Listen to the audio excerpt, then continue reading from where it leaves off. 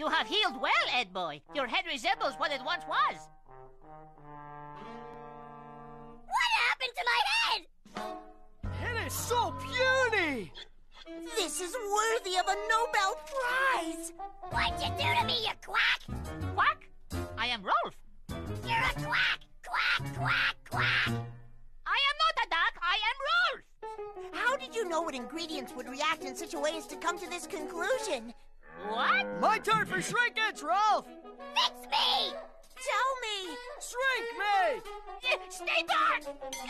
Get him!